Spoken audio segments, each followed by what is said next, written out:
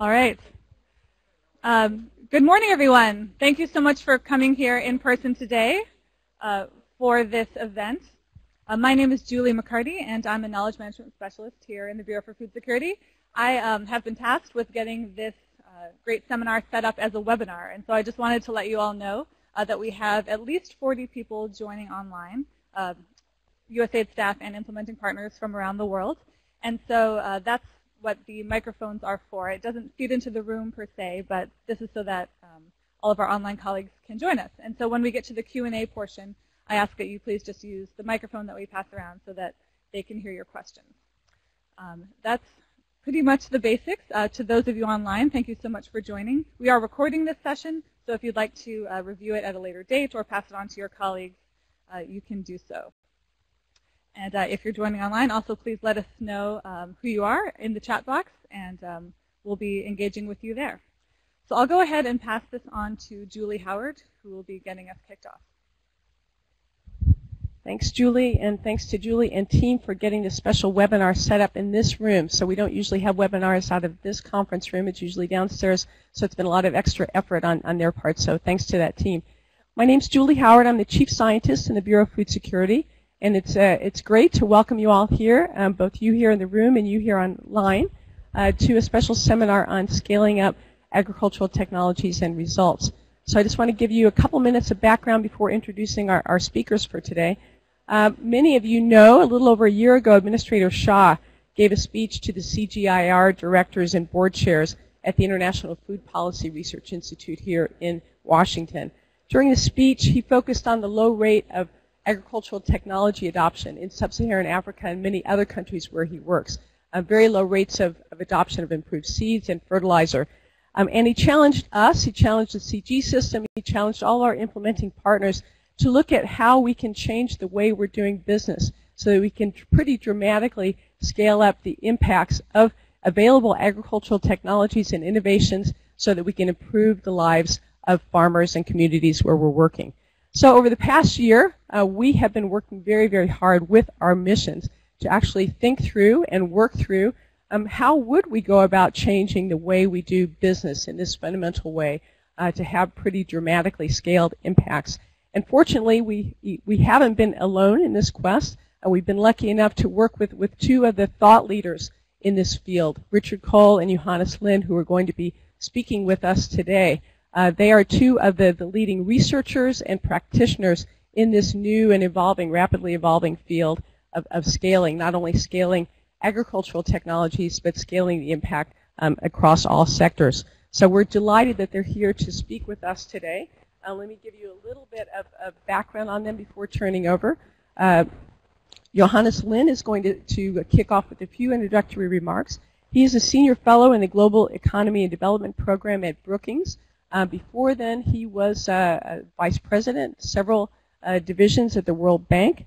Uh, he was the first, the founding director of the Wolfensohn Center uh, at Brookings, and in that position, uh, began, developed, implemented a lar- one of the first programs, research programs on scaling, working with the World Bank, working with IFAD, the International Food Fund for Agricultural Development, and other partners. So he will talk to us first about how our scaling efforts sort of fit in the global context. Who else is thinking and working on scaling? And then uh, we will turn over to Richard Kohl, uh, who is the founder and principal of the Center for Large Scale Social Change based in San Francisco. He has been working on uh, strategic thinking, process and systems analysis, and thought partnership and training to support scaling up of high impact innovations in agriculture and many other sectors. So we are going to uh, have Richard and Johannes speak to us for about the next uh, 35 to 40 minutes. We're going to open up for questions at that time, both online and here. Open up for questions at about uh, 9:45. At 10 o'clock, um, as you all know, the administrator will have his town hall from 10 to 11. So many people will break at 10 to allow people who need to go to that to, to leave. Um, we will continue our discussion online here from 10 to 10:30. Um, and for those of you who may remain in the room who want to uh, continue with questions for Richard and Johannes. So Johannes, over to you.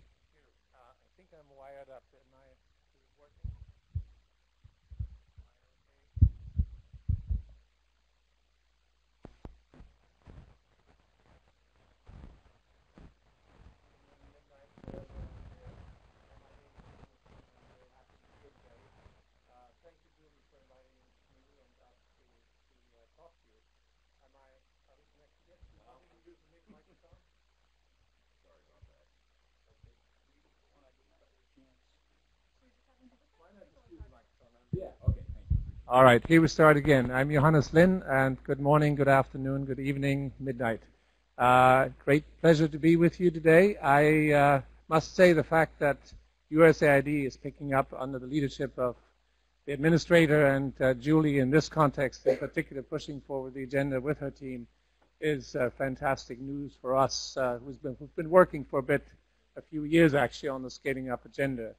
Uh, Brookings, as Julie mentioned, has had a program for the last six to seven years uh, looking at scaling up in development, uh, especially among the development assistance institutions. Uh, we've been working with others like Richard, uh, who's been part of our teams at time but has his own program.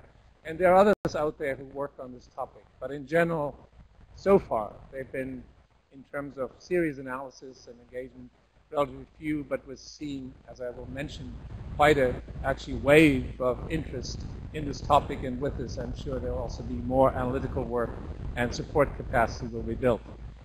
Now, what we found in our work is that the real challenge isn't that there's no scaling up happening. In fact, uh, all of you, probably in your own programs, or as you look around the last few decades of development, can point out, point out some very wonderful examples of success up. Think about the Green Revolution. Think about the Loess Plateau program in China. Think about uh, the Green, Grameen Bank or many others. What we feel and what we've learned is the real problem is that scaling up is not being done and pursued systematically by the institutions who uh, develop and implement and support development programs. Instead, what you find, the prevailing practice is actually have relatively short-term interventions, one-off interventions, uh, pilots, which I would like to often refer to as pilots to nowhere, because in fact nothing happens after you finish with your pilot. There's no really serious evaluation, no serious building on the experience, and then scaling, replicating, and scaling up. If there were more scaling up, and especially more systematic scaling up, we believe that in fact the development impact of uh, actions on the ground, of AIDS uh, supported programs, on, could be much more significant uh, than it has been. It's always interesting to observe that somewhere around 75% of all aid-assisted pro projects and programs are rated satisfactory as a, during evaluations. But then if you look in the macro analysis of the impact of aid, you find the impact tends to be quite negligible. And so the question is, where is this disconnect? Well, I think the disconnect is because too many of our interventions are one-off, are short-term, are pilots nowhere. And the challenge we all have is to now systematically over time figure out a way to move from successful pilots, to successful interventions to replicate and scale up. The good news is that actually I think we've learned quite a lot about, about uh, what successful scaling up means. We have a framework, a simple framework of analysis looking back and of su supporting analysis looking forward that can help in programming. And there's now, and that's the second and in terms good news, there's much more greater recognition uh, in the development community that scaling up is mission critical, as actually at IFAD uh, they, they, put it. Uh, scaling up is mission critical. Uh, we've been working with various institutions now, and uh, let me quickly summarize because I think it's indicative of the fact that you guys aren't alone in grappling with this challenge of scaling up. Uh, with IFAD, our work's been most intensive. We've now worked with them for four or five years, try and systematically integrate scaling up into their institutional DNA, if you wish. And I think there's some progress that's being made. We've worked with IFAD, with the World Bank, with Heifer International, and with IFPRI on scaling up in agriculture. And of course, we're working with you guys now. We've worked with UNDP and a African Development Bank on integrating scaling up into their country assistance programs and strategies. We've worked with USAID and GIZ in developing uh, guidelines for the staff to how actually do the scaling up in their operations. We worked with USAID, not your group, but another, with another group on scaling up in youth programs. With AusAid, okay, I'm sorry. With AusAid and African Development Bank, we worked on scaling up in fragile states, which is, by the way, a, a, a topic which I think is very important indeed, because in fragile states it may be more difficult to scale up, but it's just as essential, if not even more so. We've worked with JICA on the interface between public-private sector in scaling up on incentives for scaling up and South-South cooperation for scaled-up impact. In short, I only mention this because it shows you, I hope, that there's actually a lot of interest in this, uh, in this agenda. And as you look around now, uh, on the ground, I think you'll find increasingly partners who'll be working with you on a scaling up agenda. Now, Richard will talk a lot more about the whys and the hows and, uh, and the whats that uh, are involved in scaling up what we've learned. In conclusion, I just want to say that uh, I'm delighted you are all thinking about this issue and addressing it. I'm hoping that it'll become mission critical for USAID also, the scaling up agenda not just in agriculture, but actually I would hope across the board, and not just as a one-off sort of short-term uh, interest of this particular administration and this particular administrator, but actually a long-term uh, agenda that USID takes on board, because I think only then will it make a real difference. Thank you. So uh, I'm really thrilled to be here. Um, I've been working on scaling up for about First with Management Systems International that some of you are familiar with, and that out on my own. Um, and we can talk more about that later. Uh, I just want to make it clear, what, what is it we're talking about when we're talking about scaling up? I think there's a tendency, uh, the World Bank under Wolfensohn actually organized a major conference in 2005 in Shanghai, and there's a two-volume uh, set if you have trouble sleeping at night. Uh, take a look at that. And it you know, they reach about 500 pages, and I've read the whole thing, and I tried to think about what is the in common of all these studies. The only thing I could come up with as a definition of scaling up that would encompass everything that was in those two volumes was scaling up means doing more. Okay, so I'd like to refine that a little bit more, no pun intended, uh, because that's not what we're talking about here. There's a tendency also to see uh, scaling up as mostly quantitative. Now we're reaching 2,000 farmers. In three years, we're going to be reaching 4,000 farmers. Now we're reaching uh, 50,000 hectares are covered with this rice variety, double that, triple that, well, some quantitative increase.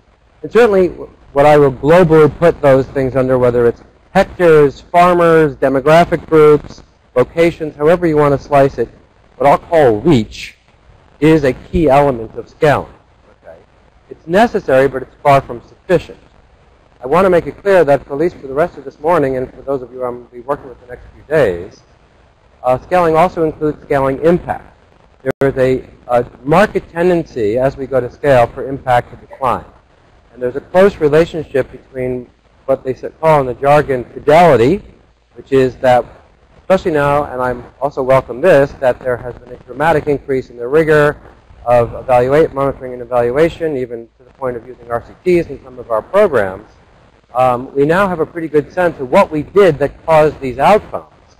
But when we go to scale, there's a tendency to be output driven, or to go to the 4,000 people or the 4,000 hectares, as opposed to saying, are we actually replicating the program, the model, the intervention, the innovation, whatever you want to call it, in the same way we did it at, at small scale?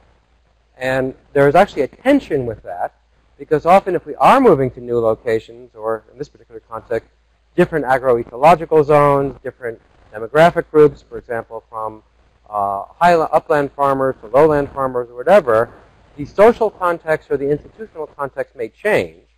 We may have to somewhat adapt the program to work effectively in those areas. So there's actually one of the key trade-offs in scaling up is between fidelity to what we know works at small scale and adaptation to what works at large scale. Okay? The second, third part of scaling up, in addition to reach and impact, is equity or coverage there's a tendency to use existing pathways. And what do I mean by pathways? Well, for example, the government agricultural extension system, NGOs that are providing technical assistance, uh, the private sector value chain that provides inputs or outputs upstream or downstream from farmers. Okay, those are all pathways. But what we heard, in, for those of you uh, who are aware, there was a GLEE for this Feed the Future scaling up in both Bangkok and Addis. And uh, it was quite remarkable to me that one of the women who presented, who runs a seed company in India, says that the, the potential market for her seeds is 46 million people. But it's too expensive for her to deliver to 26 million of those because they're too small, they have too low of an income to buy her seeds, and they're too far away. It would take someone a half a day or a day to go to the little tiny village, by bicycle or motorcycle. The point of that anecdote is that if we use existing pathways, what tends to happen is we reproduce the inequities that already exist in service delivery. In other words, right now, people who have money or purchasing power tend to get goods and services, and people who don't, don't. But I think we're in the development business and the, and the poverty alleviation business. So in a sense, one of the key challenges is how do we scale up when the existing pathways we have tend to be biased to replicating the inequities in access that already exist. Okay. Um, one, so I've already uh, outlined that there's a trade-off between fidelity and adaptation and between scale and impact. And the last one is cost. Okay. We don't have infinite resources. And whether the ultimate scale that we're talking about will be financed by uh, the private sector in the sense that farmers will pay for goods and services, or by public sector funding, or by some combination of social enterprises, et cetera, et cetera, um, we do have some sort of challenge of unit costs. Can farmers afford these seeds? Uh, can this fit within the ag extension budget? Whatever the budget constraint is. And obviously, in terms of impact and scale, especially reaching the poorest of the poor who are often remote, there's a trade-off between cost. And I guess uh, since I know not everybody is a, an American, um, but uh, since many people have been exposed to American culture, I like to call this the Apollo 13 problem. For those of you who haven't seen the movie, um, they get 99 million miles to the moon. They're almost there. The life support system breaks, and um, they have to fix it within 36 hours, which is before they can get back to the Earth. They put a bunch of engineers in a room, and they say, this is what they've got on board. You have 36 hours to come up with a fix. This is not best practice. This is optimizing within the given constraints. So in scaling up, we have a number of constraints. We have this is the model and the impact we want to have. This is the scale we want to reach. These are the existing pathways, that an organizational capacity in particular, to deliver to the population we want to reach. And last but not least, there are financial constraints and human resource constraints. Okay? Often the existing capabilities of those pathways and organizations at scale do not match what is what the model or the innovation required at small scale. It's one thing to have a contract or an RFP for a COP and an implementer with you know their budget for three five years of a few million dollars. What they can do is not necessarily the same as what a large scale system can do. And, and similarly, the financial resources may not be similar. So how do we achieve scale with impact within the constraints that we have? That's the, that's the, that's the challenge that we all face. Okay? Now, just one last word on that. Uh, some of you may have heard of this uh, mythical place in American culture called Lake Wobegon. Okay? So um, at scale, one, one of the things I love and hate about USAID programs is that you hire the best people to run them and they do a fantastic job. The problem is I'm never sure whether we're testing the efficacy of a model or the efficacy of a really good COP and five team members who are great problem solvers. And basically, what I think we may have be testing is that if you get a team like that and you give them five or ten million dollars for five years, they will produce results no matter what happens. Those people are above average. The only place where you can work at scale where everybody is above average is Lake Wobegon.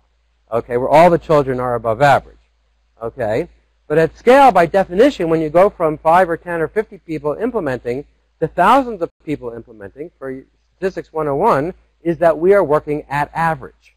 Right?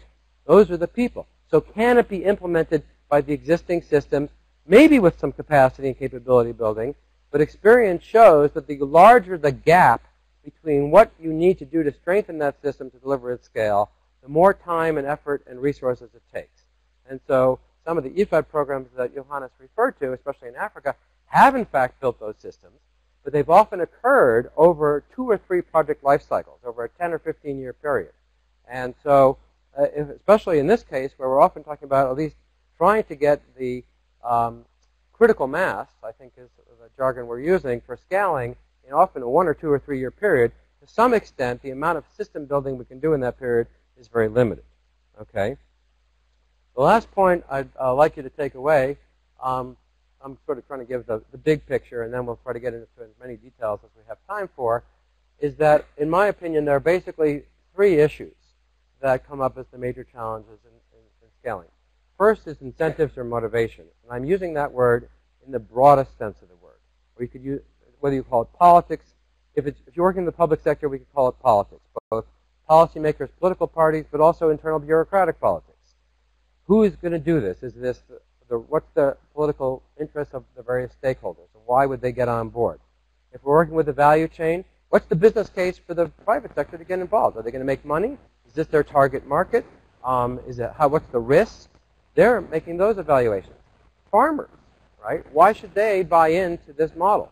Okay, if we don't align incentives in all those sectors, public, private, the beneficiaries or participants themselves, and, and in my opinion, the interface in particular between often frontline service deliverers, people who are providing agricultural machinery services, people selling seeds, uh, people providing agricultural extension, and the farmers themselves, and probably the wholesalers who are buying from the farmers or retailers, that nexus in particular, if all those people don't see it in their interest to do, quote unquote, the right thing, then this doesn't work.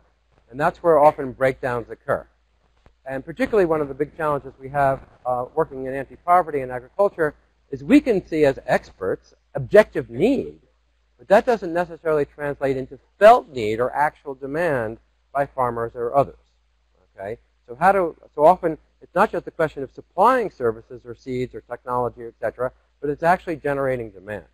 Okay? And how do we get that to, and spreading demand, not just for the critical mass, but how do how do we go uh, beyond that? The second one I've already alluded to is implementation capacity at scale. Uh, we all know that government systems are weak. I already alluded to the fact that often private sector systems don't have an incentive to deal with the poor, despite the trendiness of the, the, uh, the fortune at the bottom of the pyramid.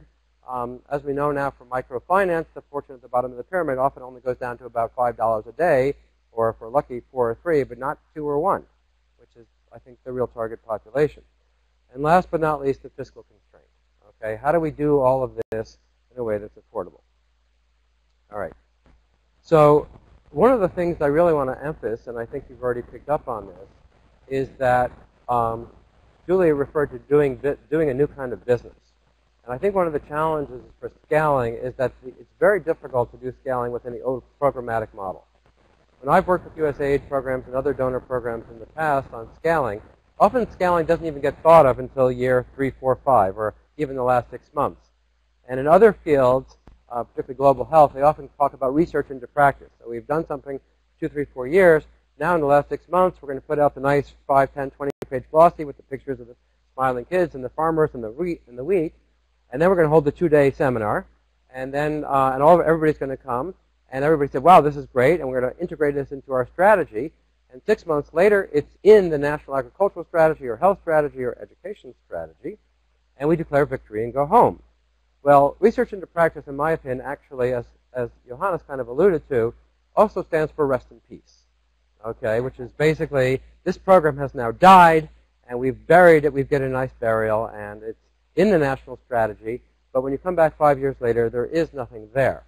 So, in addition to reach, impact, and equity, the fourth dimension of yes, scaling up takes us into the fourth dimension for those who like that uh, is sustainability, which is what happened two, three, five, ten years ago after we're there. And for me, sustainability has three different aspects. First is political. Uh, again, I'm sure this never happens in USAID or the U.S. government. I'm American, by the way. But in other countries, okay, when administrations change, when secretaries change, when ministers change, their political incentive is to do something completely different. Okay? And one of the challenges in scaling up is the easiest way to scale up, usually, whether it's public sector or private sector pathway, is to find one or more champions, okay, who have power, influence, decision makers, access to resources. The problem with that is when those champions disappear, what happens next? Especially if the next champion or the next person in that slot actually wants to do something different. So how do we build long-term political sustainability? Secondly, is what I call organizational uh, sustainability or capacity often, uh, if the Rest in Peace program isn't done, the better version of the Rest in Peace program is we've piloted this in pick your, pick your poison, three districts, three blocks, 5,000 people, this size population. We will help actor X, maybe it's the public sector, scale it up. So we're going to provide training for, let's say, 5,000, 10,000 ag extension workers, or whoever the delivery system is. Okay? In many countries, turnover is dramatic, okay, uh, of who these people are. So what will happen is two, three, five years later, though you pick the number, 10, 20, 30,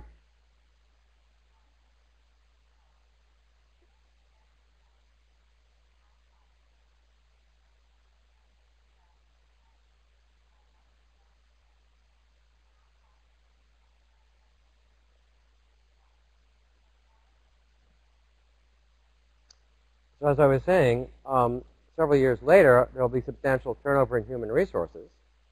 Uh, and if we haven't built training capacity, then actually those people will not know what we have access to this program. Okay, and that's doubly important. And I, and I want to throw this out as a challenge because my question to all of us is: we're scaling up, at least in this particular uh, forum, agricultural technologies. But are we scaling up a particular technology, a version of rice, a version of access to certain types of pumping technologies or irrigation technologies or deep fertilizer placement? Or are we scaling up the ability to adapt and adopt innovative technologies? What if there's a new version of rice in three years? Can the supply chain, the seed producers, the et cetera, et cetera, you know, bring that to their country, adapt it to local conditions, and sell it to the farmer? Or um, or are we, are we going to come back in 20 years? And yes, it went to scale, but they're still using the same seed variety that they were using 20 years ago. And we have to run another project every 10 years, every time there's a technological innovation, because the system itself is not capable of implementing that. So that's two dimensions of organi organizational sustainability, is the ability to learn and change, whether it's updating curriculum, uh, adapting, constantly innovating, adapting new technologies, or developing new human resources, et cetera, et cetera. And the last is um, financial sustainability, which is, of course, the issue of when the donor money goes away, whether it's USAID or others, what happens. And I think you're all familiar with that one. One of the other issues I want to highlight on is not only is it different from programs because we need to think about, I mean, projects, a more programmatic approach.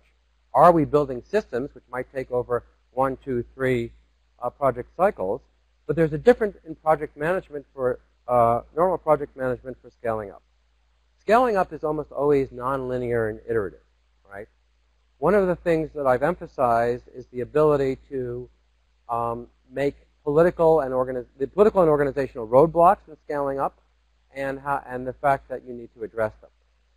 One of the things I would hope you would take away from this talk is that it's actually helpful to to think about scaling from the beginning and start with the end in mind uh, which is something I'm borrowing from a, a, close colleague, a woman named Ruth Simmons, who's actually done a lot of work on scaling and global health and has co-authored a uh, framework on, on scaling up, which has been published by the WHO. And um, I can give you that reference.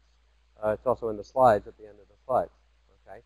The point about starting with, with the end in mind is that we want to think about which pathway are we going to scale up through from the beginning so that we can test in that pathway. And also we can start to mobilize those stakeholders to buy in, have ownership, and support this early in the process. It's, it's another thing, that's the rest in peace problem, is we've, we've gone off and done this by ourselves for five years, or as I like to say, no, we got permission and we talked to all the stakeholders in the year one, and they signed off. And then we do our own thing, and then we come back and say, look what we did for the last four years. We actually don't want them to sign off. We want them to sign on. Okay? We want them involved in the process so that at year three, four, five, it's their program. It's not our program. Okay? And often we need to consider a, the Apollo 13 problem, which is iterating on this may be an effective program, but is it politically supported and is it aligned with political incentives, political priorities, policy priorities, whoever the relevant stakeholder is, and how do we adapt that over time? Secondly, there tend to be winners and losers in scaling up, which is not usually the case at small-scale projects. What do I mean by that? You innovate a new seed variety. Well, who is supplying the old seed variety? Do those people lose money? You bring in new technology of new pumps, new irrigation systems, et cetera, et cetera. Who's the, who has the vested interest in the, in the existing technology? Okay, there, there's a long. My background, by the way, is in economic history and development. There's a long history in many countries of technology not being adopted because the efficiency gains are offset or too widely dispersed, while the losers from the change in assets values are able to politically block what happens. So we have to think in advance who are the potential losers. And I'll give you a, an example. I've worked a lot as, as Julie alluded to, not just in agriculture but health, um, I've seen a lot of innovations. The big thing these days, I think, in many developing sectors, is using community health workers, or what I call task shifting, which is if we haven't got an agricultural extension worker who's professionally trained, has got a master's in agronomy, blah, blah, blah, we teach a local village or a local farmer to deliver because that gives us better human resources and access. Okay. Well, how are the existing agricultural extension workers going to handle that? Are they are they thrilled that somebody with a 10th grade education is basically taking their job? Do they see that as a supplement to them or as a threat? And particularly in health, with the use of community health workers, local doctors and nurses do perceive it as a threat, um, which is often ironic, actually, because they refuse to work in the poor areas where the services are needed. But the fact that somebody with a 10th grade education is giving injections and maybe even setting bones uh, in a poor village means that that's taking away from the prestige and power of doctors. And I'm speaking from experience where I've actually seen um, medical associations block the, the, scaling up of very powerful and important interventions in India and other because they perceive those as a threat to their vested interests. Um, question also is whose job is scaling up? Is it USAID? Is it the government? Is it the farmers associations? And often there's a, there's a tendency for nobody to be in charge precisely because scaling up is almost always a multi-stakeholder process, right? There's vertical, there's the vertical from the national to the state to the district to the county to the village, whatever the administrative distinction. There's often horizontal, right? We're getting the public sector involved, private sector, other donors, farmers associations, okay? Who, whose job is that to get all those people aligned, right? It's a little bit different than a project mentality. And the other challenge of whose job in it, and this is a really interesting challenge, I find, is often, I've alluded to this before, you have to adapt the model as it goes to scale. Who makes that call? Is it USAID? Is it the people who invented the technology at the research institution or some university in the United States or, or in country? Is it the farmers themselves? Is it the private sector as they adopt it? Remember, we're trying to get fidelity. Okay? Are they, are they adopting it because they're dumbing down? Or are they adopting it because actually, adapting it because actually that's what makes it more effective? Very difficult sometimes to make that distinction. Okay? Scaling up, as you can imagine, if you're building systems capacity, if you're doing political advocacy or marketing to the private sector, etc., takes resources. It's not simply an afterthought that we can do in the last six months or 12 months of a project. It often takes an entire project unto itself, two, three, five years. And as we said from the IFAD experience, sometimes two projects or three projects. Okay? And the skills that it takes, if you can have a scalar upper, by the way, if somebody could come up with a better term for that, I'd really appreciate that. Okay, I often call it an inter, the intermediary role. There's small scale, there's large scale. Whose job is it to go from small to large? Takes a, a different skill set. It takes advocacy, marketing skills, boundary spanning, um, convening power. Can you get all the stakeholders in the room? What's the skill set to align incentives? That's not usually a degree in agronomy or veterinary science, or for that matter, even though we talk the talk, most economists talk a lot about incentives, but I'm not sure they actually know how to do it in the field. Okay, so um, how do you actually do that in practice? Okay. Um, I'm running out of time, so I'm just going to go over a few things. There's a lot of different ways, types of scaling up. And the couple of distinctions I want to make is between horizontal and vertical, which is horizontal you can think about like from farmer to farmer, okay, versus vertical can be top down. So it says the government or, or somebody else sort of tries to roll this out. Um, often they go together uh, which is who's going to run the farmer to farmer. And you can also think about it as demand-driven or supply-driven, which is and managed or not managed. So one of the types of scaling up that we all love, but it doesn't always happen, is farmers see the guy next door or the woman next door uh, implementing a new thing and they spontaneously do it. So that would be a horizontal, demand-driven, spontaneous. Unfortunately, that, that best case often doesn't happen, and scaling up has to be managed. Somebody has to push it so there's actually to go out and talk to the farmers, supply driven, and that often requires a vertical component. So which mix or match of these types is actually important or going to work in the context we're working. Okay? The framework that Johannes and uh, a colleague of his, Arna Hartmann, developed, um, which I'd like to think I at least put in my two cents on, um, thank you, um, is what we call the driver spaces and pathways. And that's the one we're going to be using for Feed the Future scaling up but I think it's, it's not a sectorally specific model. It's a generic model. The notion is we have an innovation and we have a vision of scale. And we've talked about that. Reach, impact, equity, uh, sustainability. And the question is, how do we get there? In order to get there, first of all, there has to be space for scaling up. I'm not going to have time to go through all the spaces, but we've talked about fiscal or financial space. Is there money in the budget for this if it's public sector pathway? Or is, are there private sectors who have the financial resources or can farmers afford to pay? Okay. Organizational capacity. Who's going to deliver this? Who's going to deliver the seeds? Who's going to um, provide the agricultural extension services? Who's going to deliver the, the um, machinery services to farmers? And not just the front line, but what's the, all the way back up the value chain? Does that exist? The policies, are policies aligned? One of the things that we discovered in Bangkok, uh, for those who were there, is that in many countries, governments either subsidize, heavily subsidize, or provide for free existing varieties of seeds. So if we're thinking about scaling up to a private sector pathway, um, is that how can that compete with free seeds, even if the, the new seeds are significantly more powerful and effective and have higher yields, et cetera, et cetera? Is, is the rate of return high enough to offset the free or subsidized seeds? And in several countries, the answer to that is no. I also work, for example, in, I'm sure some of you have heard of this, you know, the new cook stoves revolution. I think uh, every university I've been to in the last five years has got a cook stove that somehow works in a village in rural developing countries, okay? In many countries, kerosene or carbon or charcoal is subsidized. They can't roll out the cook stoves because of distortions in the energy market, okay? So is there policy space to scale this up, and if it's, etc.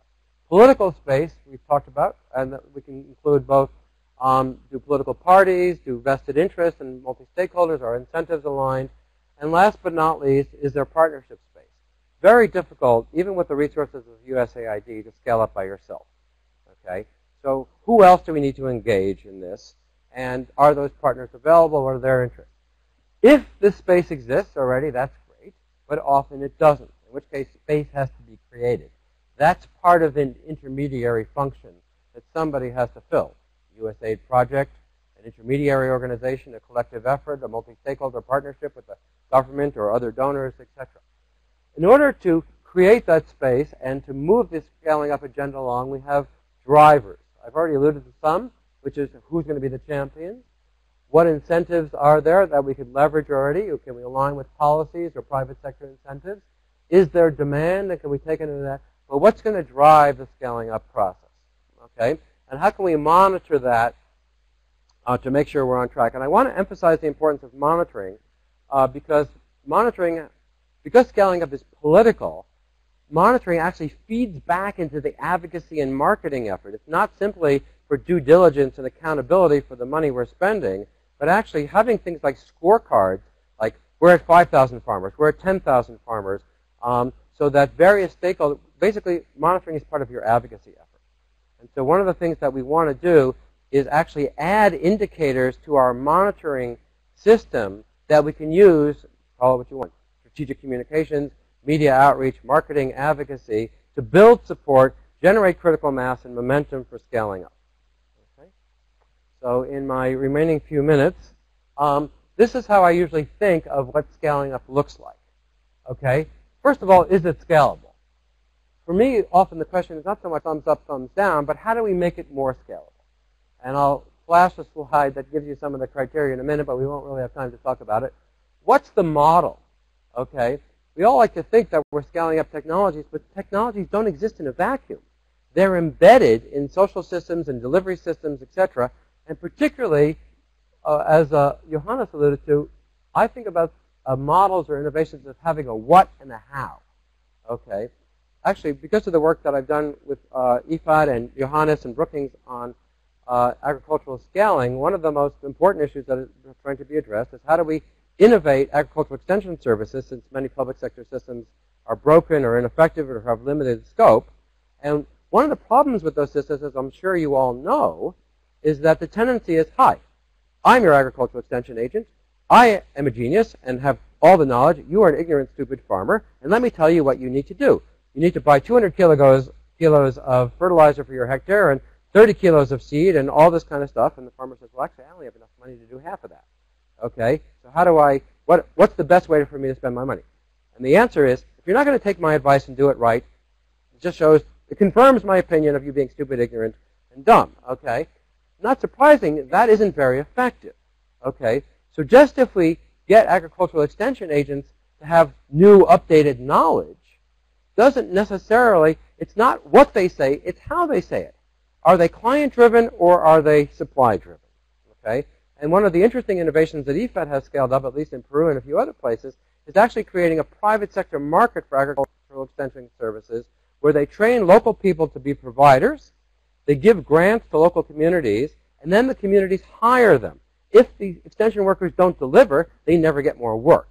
So it forces a different process of being client-centered, demand-driven, sensitive to farmers' concern, as opposed to talking at them, which tends to characterize traditional um, uh, service providers. So it's not simply that they have different or better knowledge, but they actually work differently. We found the same thing in health. Okay, teaching nurses and doctors new technology is great, but if a woman comes in for family planning services and is shamed and humiliated uh, by the, the service provider, she doesn't come back. Okay, so and that's also true in education. Uh, often the most important innovations in education are pedagogical. It's not the curriculum that changes, it's how teachers teach it. And teaching the, scaling up these invisible, these tacit, intangible elements tend to get dropped at scale because it's easy to monitor the quantity stuff, the technology stuff. The qualitative, processed, intangible stuff is much harder. Okay? What's the small scale context? So the next question we ask is, given this innovation, um, what does it take to do that? What are the capabilities required organizationally? Because we don't, to replicate the model, we have to replicate, the ability to deliver that model. Okay? We want to back out or reverse engineer from the model components the components to what does it take to do it so we can make sure we replicate or reproduce those at scale. What was the external environment? Okay, is it male farmers or women farmers? Do women farmers have power? Do they have economic, access to economic assets? If we're going from a place where women can get access to, let's say, microfinance to a place where they don't, that is a, a key environmental and systemic uh, thing. I know we all do results frameworks or logical frameworks in our models, but somehow in the 30 years or 40 years now, I guess, since they've been invented, there's a tendency for the assumptions column to somehow drop off the picture. Okay? In scaling up, we can't do that because these external assumptions that, that make our logical chain work effectively are key. Okay, we train a farmer or an extension worker to do something, and the you know that's the output, and and therefore they adopt the technology. That's the outcome. Okay, only works if these external assumptions hold. We move to a new place where those assumptions don't hold, we don't have anything. Okay, so being clear on what those are. Goals we've already talked about. Um, analyzing the spaces we've talked about, and then choosing roles and pathways. So given the spaces, and this is the iterative part, is ideally we'd like to have this model scaled up, but these people can't, this large-scale system can't do it, and so maybe we need to either change the model or change the pathway. And so actually what I'm going to go to is a little graphic which I think might be helpful. Oh, sure.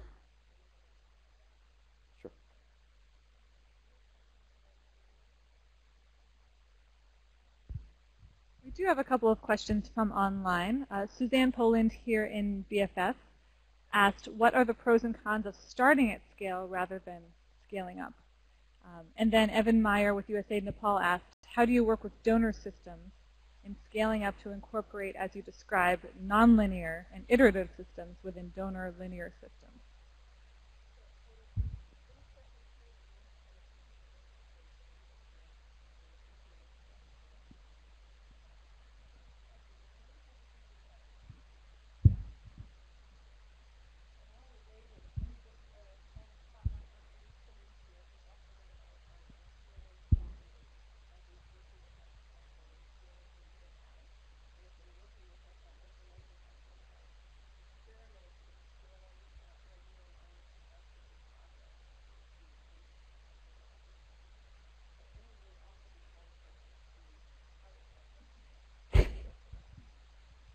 I'm Adam Reinhart from um, USAID's um, Office of Food for Peace. My question is about um, uh, sort of farmer-driven stuff, the horizontal, which I think is far more powerful than the uh, other one. I really appreciate what you said about incentives. I've certainly worked in my own project development to install those in every project that we do to get the incentives right. It follows the, the ability for donors to do everything, right? There's just not enough money. There's not enough of us in the world So the part where you were talking about sort of the, it seemed very heavy, heavy focus on the implementers, when in fact the only way we're ever going to really get to scale is by having one farmer or one person teach another person. And so what, what we're trying to do now in Food for Peace is we're trying to do what I like to refer to as self-transferring, self-financing mechanisms. So not only do they pay for themselves, but then they move of their own accord. And we're trying to work with our implementing partners to figure out how to sort of install these models that then grow and have a life of their own outside of the donor community altogether. And there's some examples of this in the world. The regreening in Sahel is one of my favorite examples of it, where we've actually seen this happen with very, very limited donor involvement in the beginning. And they may be slow, but they're slow and steady. Yeah, Paul Randolph with I'm the director for East Asia and Pacific, the Asia Bureau at USAID. Um, thank you very much for the presentation. I mean, I think this uh, you've, you've, packaged up this issue really well. Um, my question is, in your research and analysis, uh, now that there's a lot of discussion of like mobile technologies and how we can use IT and other solutions, um, have you looked at that and is there any evidence to show how it can be used to help in the scaling process?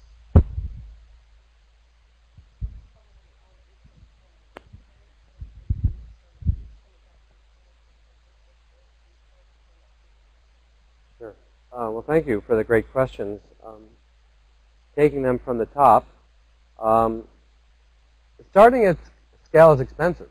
Um, I mean, first of all, one of the questions I almost always get is when should you start scaling or thinking about scaling? And I guess the short answer to that is after proof of concept. I do think that there's something to be said for, okay, we're going to work in three villages or, you know, 10 districts or whatever it is, whatever small scale looks like, and say, does this work at all or not? Uh, and then build in scaling from there. Um, I don't think it make. I, I also think that scaling is a learning process. It's often done in a phased way, particularly if you're scaling in situations where you do think changes in context will be occurring. In other words, we're going to move from, as we move from this district or this province or this region to others or from this population to others, we're going to be learning things. And I often like to think of scaling often as, uh, for those of you familiar with, as a spider plant, sort of sending out the shoots to the new areas, testing to see if it works in those new areas, and then sort of using those as centers of excellence or demonstration projects, etc. Um, there are some cases, however, where starting at scale can make sense.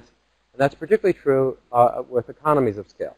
Uh, so, for example, one of the projects I've worked on is a micro insurance project. Okay, micro insurance projects actually don't work unless you have sufficient numbers to defray the risk, as we're learning in the Affordable Care Act. Uh, and so um, often you have to start at significant scale to do that. The other advantage of that is that you do get buy-in by the large-scale players from the beginning. Um, the problem is that you often are it's there's a tendency not to have learning at large scale and, and to and fix mistakes. And making mistakes at that scale can be very expensive. So I think the, the, the tension is, yes, by starting at large scale, we can get buy-in and ownership, and we're also testing in the large scale system. So the issues of politics and implementation capacity that I alluded to, to some extent, are built in from the start. The problem is that that, scale, that those types of things tend to be path dependent. In the sense that you make a mistake at large scale, or this is the program at large scale, it turns out it's not working, it's not so easy to fix it after the fact. It's much easier to fix it as you go to scale. Um, Linear and nonlinear, boy, that's a tough one. Um, I think that, you know, this is really going to be a challenge. I mean, I think one of the things we really have to think about is whether the old ways of doing business are going to work. Um, on the one hand, um, I think a challenge, you know, I think one of the great things about USAID and other donors is increasingly internal accountability. We're going to deliver to 50,000 farmers this year or 500,000 hectares or whatever the numbers are in the next five years. But if we're scaling with partners, we lose control. We can't hit those targets by ourselves. We aren't completely responsible. Okay? Or, and we may have to adjust them if the, if the partners aren't delivering. So how do we build into our systems, I think, the, the current heavy emphasis on accountability and delivery, which I think is great, on the one hand, and the fact that as we're scaling and working with multiple partners, we're no longer in control. Okay? And this ownership issue is key, and I think that's the balance we're going to have to achieve. I think another place where this shows up, by the way, is monitoring and evaluation, which is I think monitoring and evaluation for scale are very different than monitoring and evaluation for accountability. Um, there are very few projects that I know generate the kind of accounting data that we need, particularly for scaling through the private sector. All right? You, your accounting systems aren't driven to say, what's the unit cost and how much money can I make of delivering this seed? They're driven for, did I hit the budget targets on um, you know, infrastructure, short-term PA, uh, overhead, et cetera, et cetera, et cetera. That's not what a private sector person wants to see. Okay? So how do we generate that? Um, the next question was from you, sir, uh, which was um, the importance of farmer to farmer. I think that's exactly right. I mean, to the extent that we can do that, that's fantastic. And, and that leads me to two comments. One is often when I see a model documented, they never document the incentives and how they address them. In other words, how do you, how did you get farmers to, no, not get, that's the wrong word, but what was that, is it that farmers actually saw? Okay? I was just in working in China for IFAD last year, almost uh, about nine months ago. One of the things that went to scale, believe it or not, is guinea pig ranching. Okay? Uh, and they don't use them for pets. Okay? So why did other farmers scale, uh,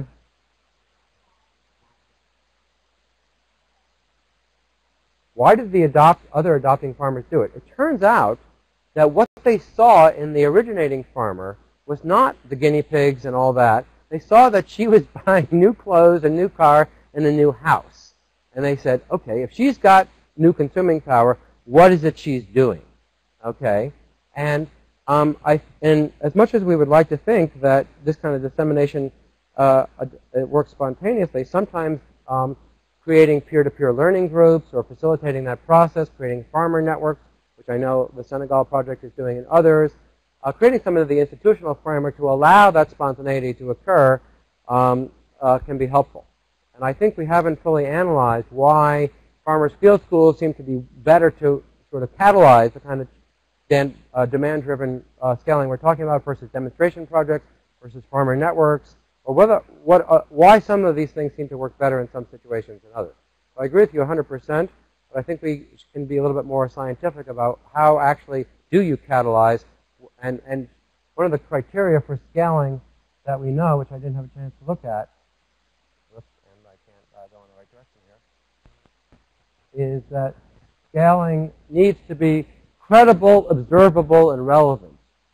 Okay? Prove that it works, not just because it's statistically significant by a, a, an agronomist, but what is it? What is it? We know it works. What does the farmer have to see? Can he observe that, and is it relevant to his or her needs? Okay. So can we actually try to get our, help uh, get them there? Um, just because I'd like to give uh, others a chance to respond, I'm going to pass on the mobile technology, and maybe Johannes or Emma can take a minute.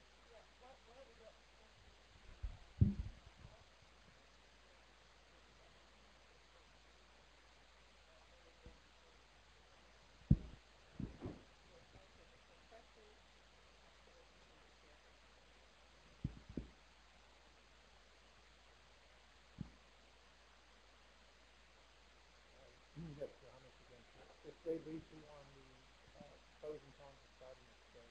I, I think uh, as, you, as we've worked on Ah, okay. The green light should be on. Okay. Sorry, let me start with a question on pros and cons of uh, cons of starting at scale. In uh, thinking about scaling up, uh, we actually think about two possible types of errors. One is you don't scale up what works. The other is you actually do scale up or put at scale the wrong, the wrong thing or you do it in the wrong way.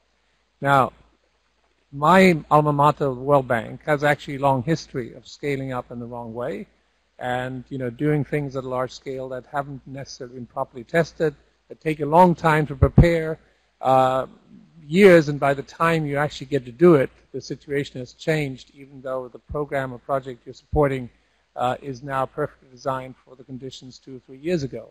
And in the meantime, the, the beneficiaries actually haven't seen any benefits and therefore, in a way, have walked away and got disenchanted. So there are real risks of trying to go in at large scale uh, with something that hasn't yet been proven, where you actually don't know whether, what is the model and whether it works. You don't really know whether the institutions are there, and you actually miss an opportunity to get the buy-in of both potential beneficiaries, the political uh, stakeholders, and as well as your partners. So I think in many cases, it's probably better to start uh, small, or at least start in a way so you can properly test the model. A perfect example of this is the uh, uh, conditional cash transfer program in Mexico that actually took five to ten years to build from model to the national stage, uh, and actually it's been written up very nicely as a, as a case study.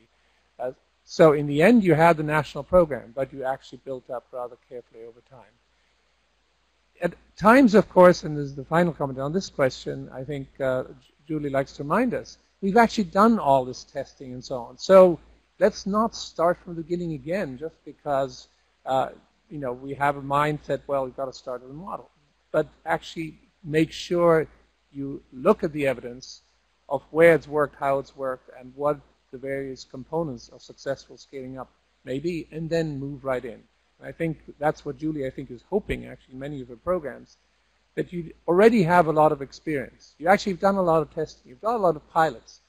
Now just build on those and systematically figure out a way to go relatively quickly over the next two to three years to scale. The only point I would add, make sure whatever you do, it's number one, sustainable, and number two, to extend the scale you reach after two or three years, that you actually have built up a, me a mechanism that takes it to e an even larger scale because in most cases you probably won't have reached the sort of 100% of optimal scale that you are ideally aiming for.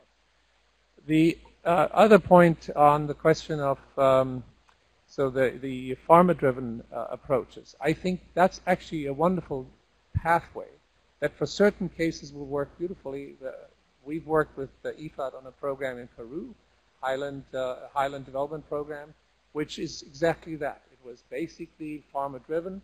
It was a pathway that incorporated key elements and over 30 years actually has done a remarkably good job in, in pursuing that. The regreening exercise, uh, example that you mentioned is another case that actually um, I think is, is not as far along, but various aspects of this have actually been written up by uh, one of our colleagues in IFPRI policy brief that do take very active focus on key elements of the scaling up pathway conditions that we talked about. For example, communication outreach.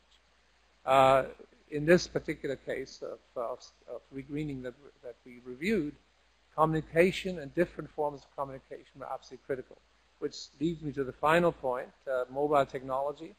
Obviously, mobile technology can have, and I think you guys are probably here in USAID further along than many others. IFAD, for example, has not yet, I think, really done a lot of work with this.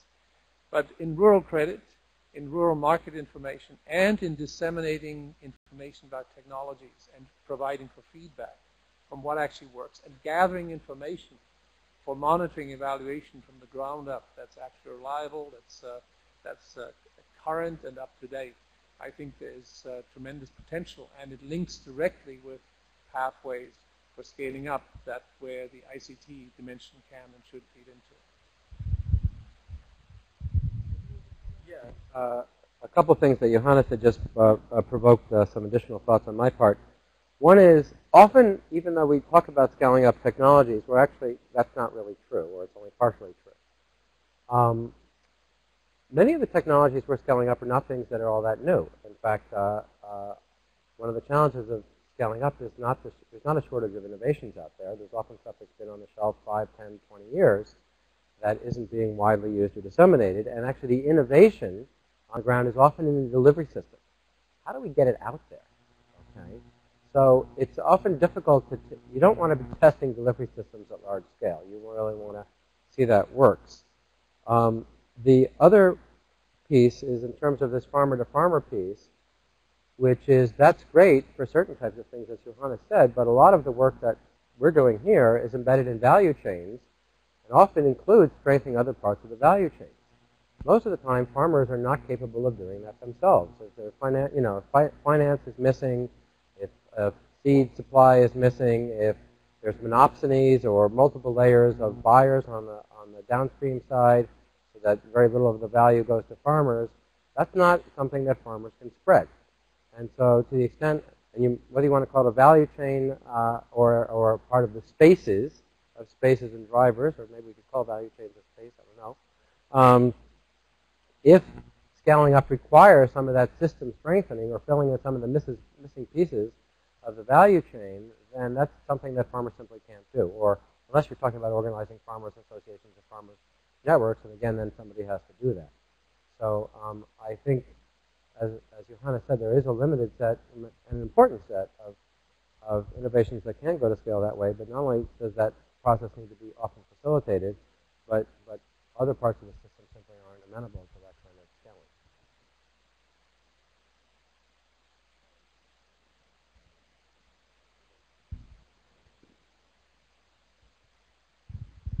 So any other burning questions?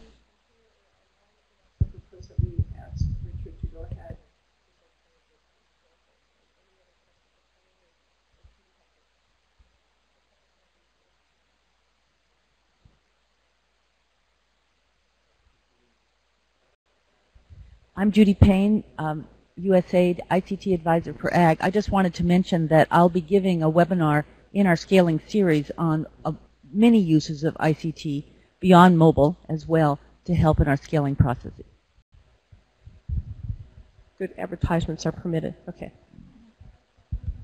Uh, yeah, this is this on?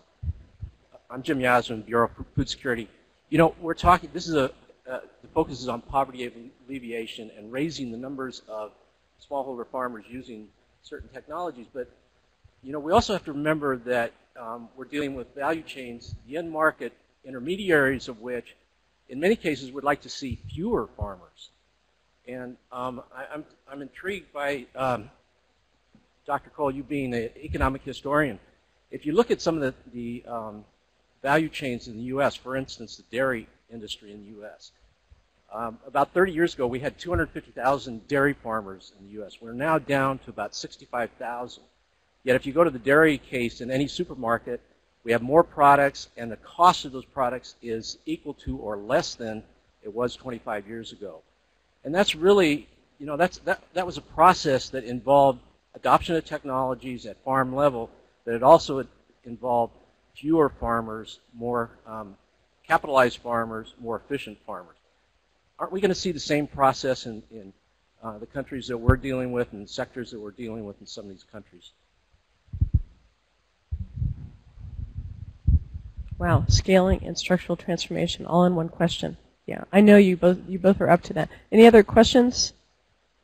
Okay, anything from the online, and then we'll we'll turn it back to you all while you think about structural transformation quickly. Um, Brian Marvelous with USAID Zambia asks, how do we truly know if a, a scaling model works? Do we have to uh, do a rigorous impact evaluation of the model first, or are just a few years of good results enough?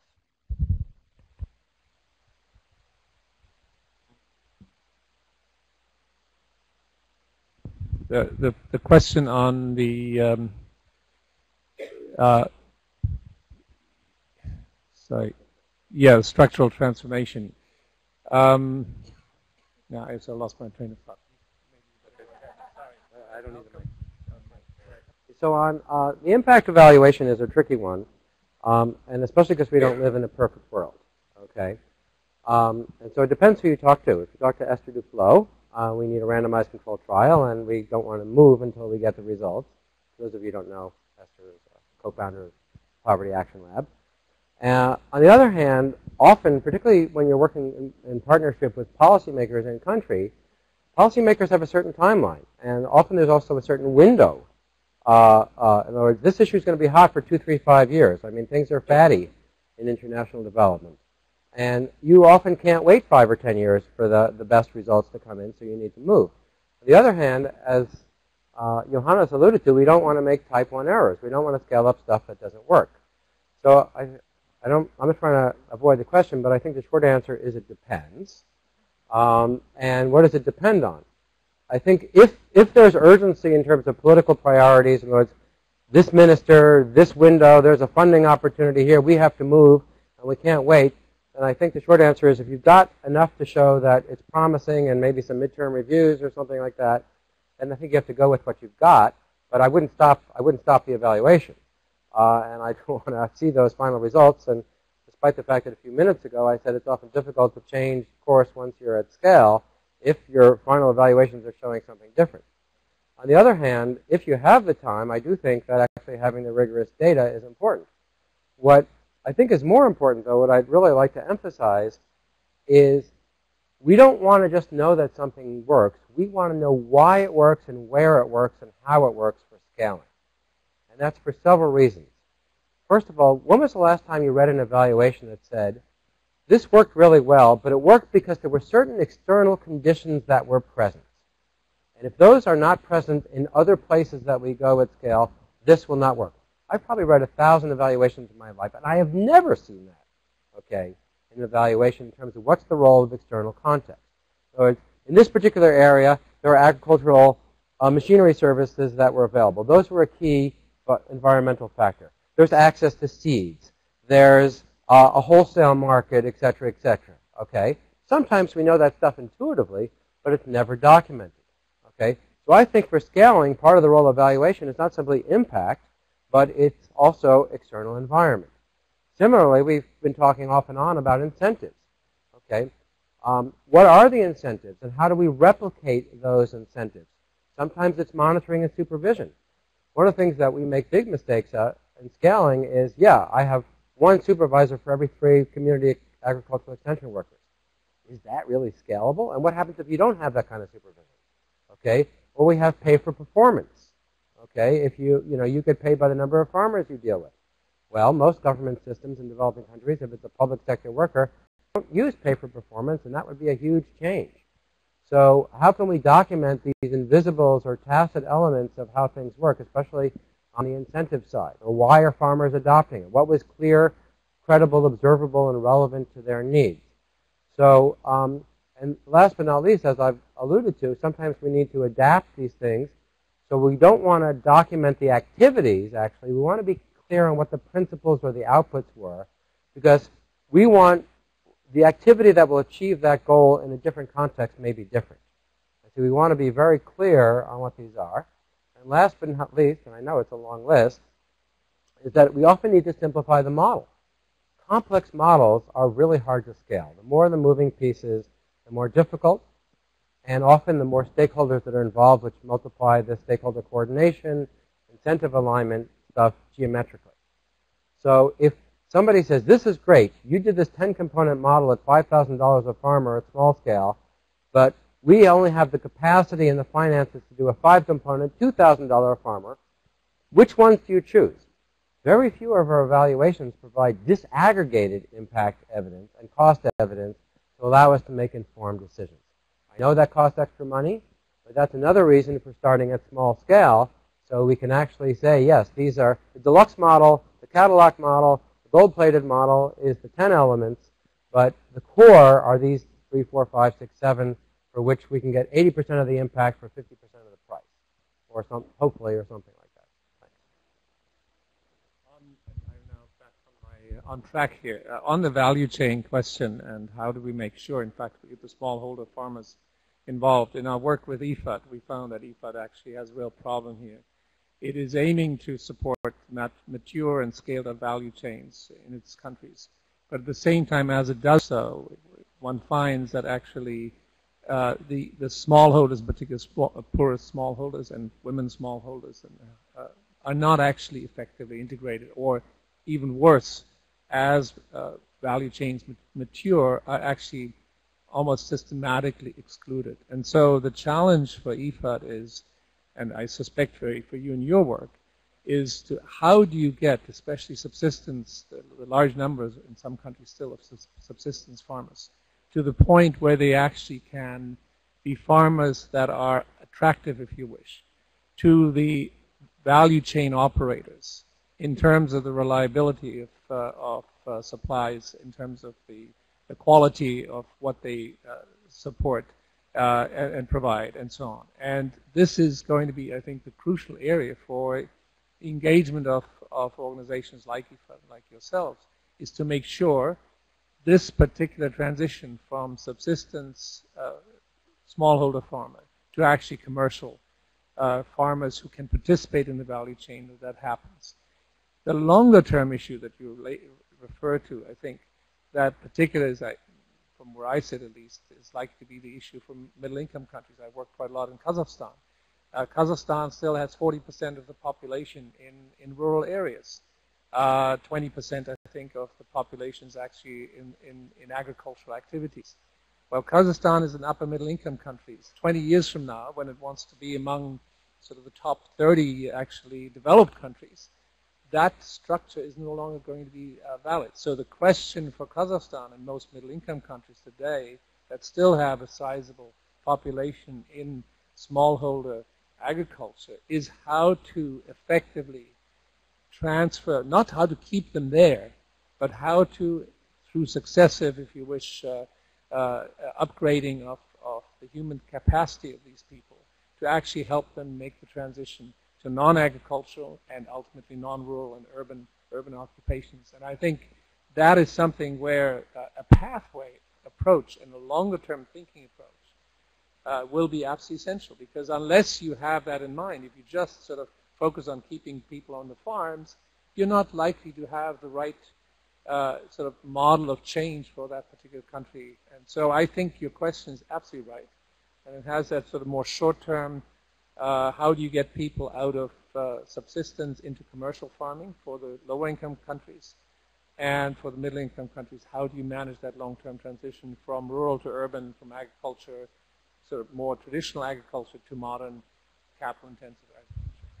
Yeah, if I could just add a word on that. Um, having done a lot of work in Southeast Asia, we increasingly see the feminization of agriculture that with the successful urbanization of countries like obviously China, Vietnam, and others, um, you have lots of prime age males who now work in urban industrial sectors leaving. And if you go to these areas, you basically only see women with children or of childbearing age and people under 18 and over 60 or 55, whatever, in the country. Often, uh, and one of the things I'm really pleased with in the Feed the Future program is, is gender is not simply a box that's checked, but it's taken quite seriously, is that women can often have challenges or issues in terms of access to finance, ability to buy land or own land or transfer land, especially in countries like Vietnam and China and to some extent Cambodia, which have coming out of a, well, not coming out of, still to some extent in a communist or recently communist system, uh, land markets and other asset markets are not really well developed. So the type of transition that you were talking about often requires uh, development of missing markets that don't exist. And um, particularly referring to the IFAD work, IFAD particularly specializes in targets in marginalized indigenous peoples. And as, as uh, Johannes was alluding to, often those people, um, the rising tide doesn't lift their boats. They are too far away. They don't speak the language. They're too poorly educated. The, the transportation and communication links are too poor that um, they're, they can't get locked into the get address the market. And um, particularly in Vietnam, that's been a huge challenge. I mean, Vietnam has had an amazing success in commercializing agriculture and getting large percentages of the agricultural population involved in the market, but that's not been true for ethnic, particularly ethnic groups. And similarly, when I just went to China, as I alluded to, every single province that IFAD has a partnership with the government in is one of the, what they call autonomous provinces, which is a majority ethnic population.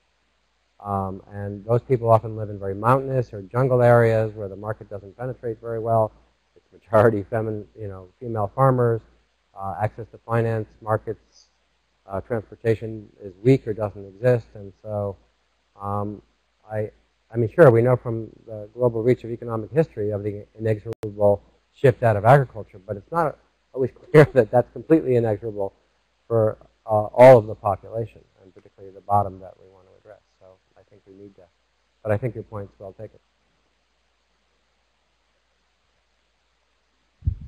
Thanks. Well, thanks everybody for those good questions. Um, unless there are other great ones right now, why don't we turn back to you, Richard, and let you go through some of your case examples. And on, on this structural transformation question, I just wanted to add about what Richard said is we're not trained into a specific technology.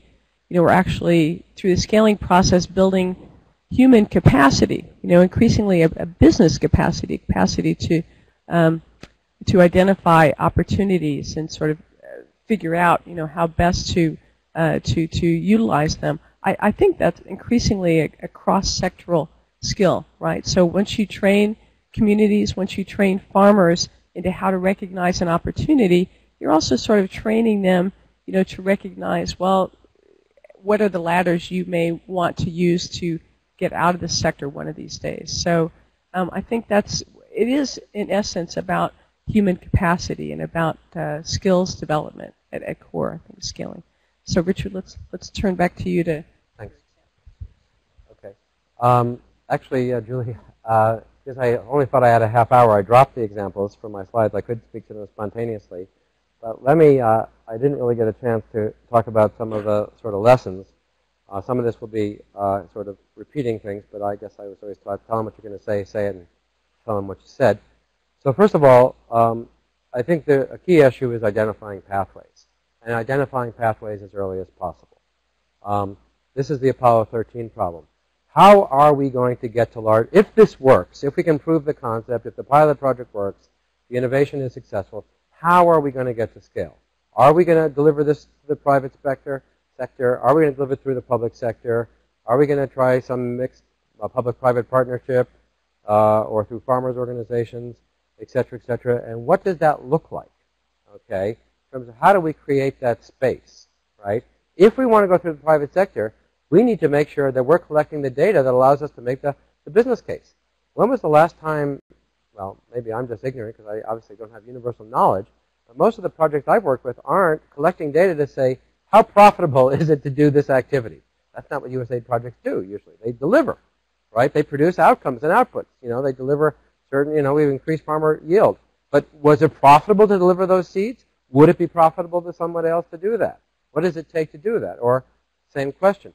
Is this aligned with the policy priorities of the Ministry of Agriculture system is going to do with it? Is it within their capabilities? Do they have the Agricultural Extension Service? Do they have the training? Do they have the research stations? Do they have the innovation capabilities that are necessary to do this? So let's think about, to begin with, this is why it's iterative, right? We're having something that works. We want to deliver to this population, but this population is served by these actors, these pathways, these organizations. How can we iterate between what works and what can be delivered and strengthening the system?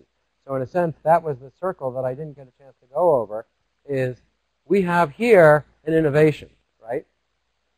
It achieves certain results, and it has certain implementation requirements, right? We want to deliver it at this scale, with this impact, okay? So, is the, does the space exist to deliver this at that scale? Are there organizations that can do it? Is the financing available, whether that's private sector incentives, the affordability to farmers or public? Are the politics aligned and the rest of the ecosystem, or in this case, the value chain? And um, what's the pathway that is the best to get this scale, this impact of this model?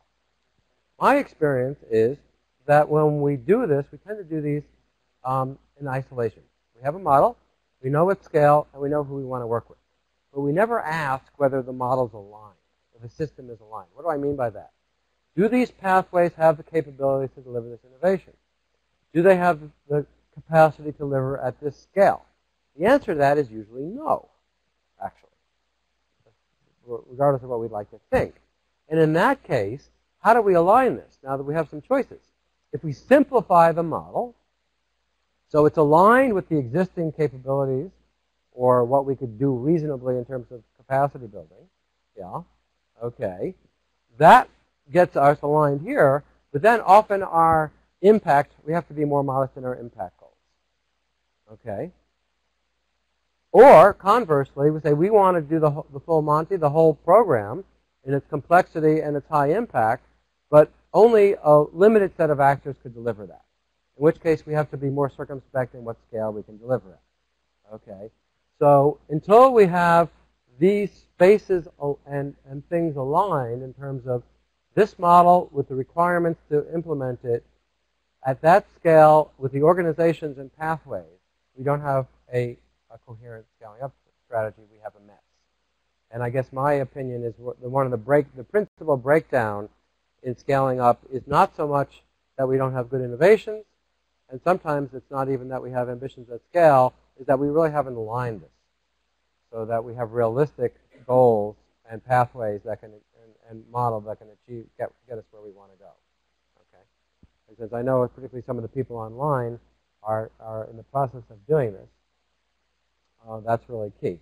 Okay, um, I've emphasized, but I want to re-emphasize the importance of having an intermediate organization and leadership to manage and coordinate the scaling up process which is creating those spaces if it doesn't exist and driving the process. Okay? This means who's going to do the demonstration marketing? Who's going to bring the private sector actors on board at scale? All this. One of the things, you know, we were talking, um, so put on my economist hat, often parts of the value chain are lumpy, right?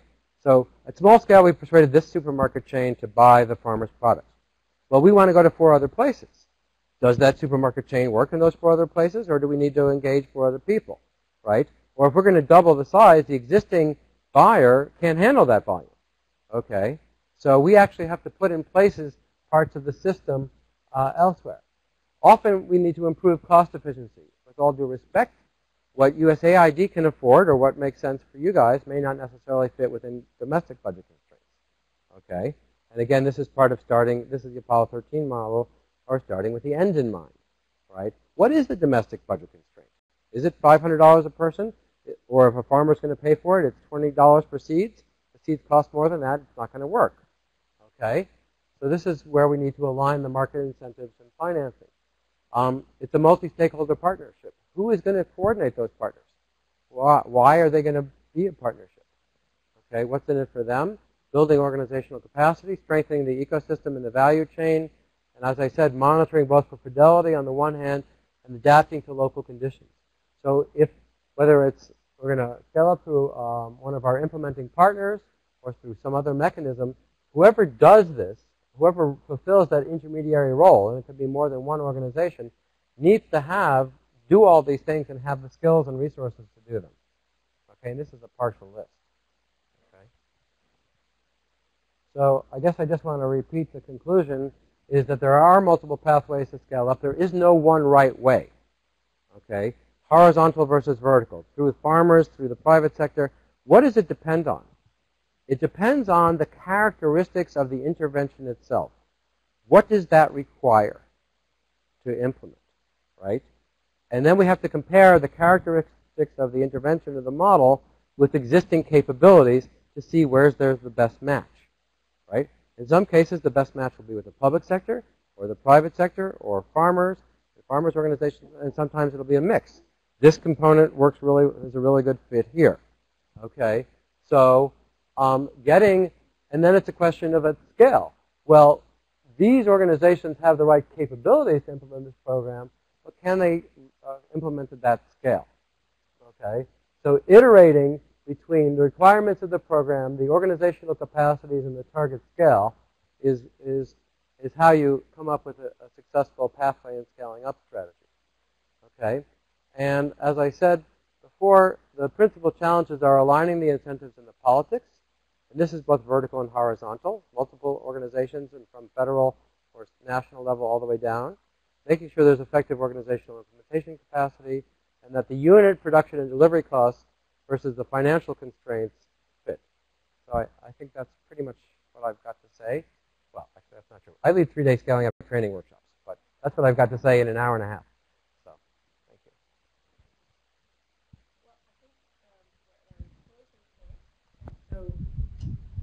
you. Why don't we give a hand to Johannes and Richard, please? Okay, I think, you know, what I take away from these conclusions is some excitement, uh, Richard and Johannes, because I think we're starting to see in a number of our Feed the Future programs, we're, we're seeing the, uh, the germs of, of takeoff, right, and some, some promising, I think, accidental, perhaps intermediary organizations on the ground, you know, who are starting to do many of the things that, that you've characterized for us here. So our question now is, is how to fan the flames, um, fan the incentives, I guess, in those countries. And also, sorry for the mixed metaphor. No, I'm noticing a pattern. Feed the future, fan the flames. Yeah. F- all right, F- don't go too far with that. Okay.